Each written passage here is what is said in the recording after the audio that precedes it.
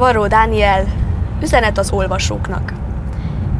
Mivel az olvasásnak volt most az évada, jusson az eszetekbe Závada, Eszterházi Péter és Tandori Dezső, meg a többi potyaleső. De mindannyiunknak sok örömet szerző, kortárs magyar szerző. Hiszen írók nélkül az olvasás bajos. Eszembe jut még Parti Nagy Lajos. Ha ők nem volnának, az olvasók komálnák, nem komálnák, kénytelenek volnának olvasni a románát, meg a többi risz rossz szerelmes füzetet. Ebből az apropóból szól most az üzenet. De mielőtt még kivenném a szót a számból, fölteszem a kérdést a jámbor olvasónak estvén itt, a költészet és a próza közti mesdjén, ami ugyebár a rímes próza, más néven bakáma, mint az ember aranyat kakálna, és ami másfelől, mint közismert, nem könnyű dolog, hiszen olyan, mint repülni gyalog. Szóval, fölmerül a kérdés, hogy az olvasó olvas-e? És ha ugyan olvas, akkor is mit? Garaci Lacit, vagy Őrsi Pistit?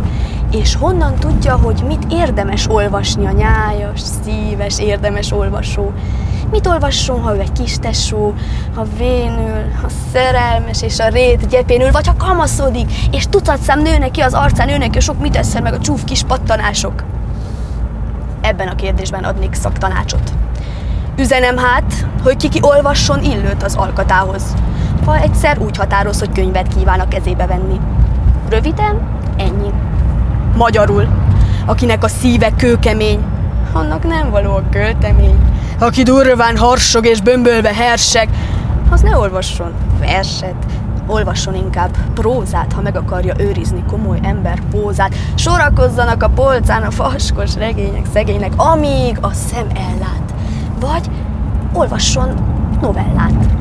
Ezen belül aki nem ragad bele a sárba itt alant, akinél jelentkezik a kaland, mint hiány, aki a lelke mélyén indián, és aki szerint az anyjukat azoknak, akiknek fáj a vadnyugat, az jobban teszi, ha Coopert, Kármájt, meg más hasonló regényeket fal majd.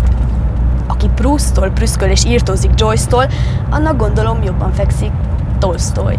Viszont akinek az olvasás csak a féle ebéd utáni ejtőzés, az olvasson rejtőt, és ha még nem olvasta a svejket, ami elég sokat sejtett, akkor ajánlom neki hásekot. Ne sokat habozzon, lapozzon bele, de ha elégedetlen vele, és ha nem jön be neki Woodhouse, mert amilyet ő ír, olyat tud száz. Leküzdeni a lélek undorát. Olvasson egy kis kunderát. De ne olvassatok ti prózát, mimózák, és ne olvassatok ti prózát, kábák, akiknek a lábát az élet kemény bakancsa nyomja, mert szűk a méret, és fölsértik apró kavicsok olvassatok ti Babicsot, hiszen azok az ászok, kik a lírát írják, és akinek alkotó területe a próza, az a tehetségét nyilvánvalóan elaprózza. Szóval, sok-sok verses könyvet vegyetek, húzzák le a súlyos verses kötetek, a kabát zsebeket, retikülöket, tasókat. Ezt üzenem a nyájas olvasóknak.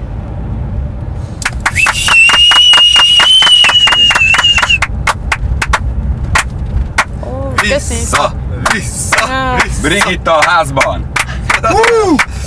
Hát ez nagyon kemény hát volt. ez nagyon kemény. De... És ez fejből, hát szóval, jó, hát csak, esetleg. Csak úgy zsebből.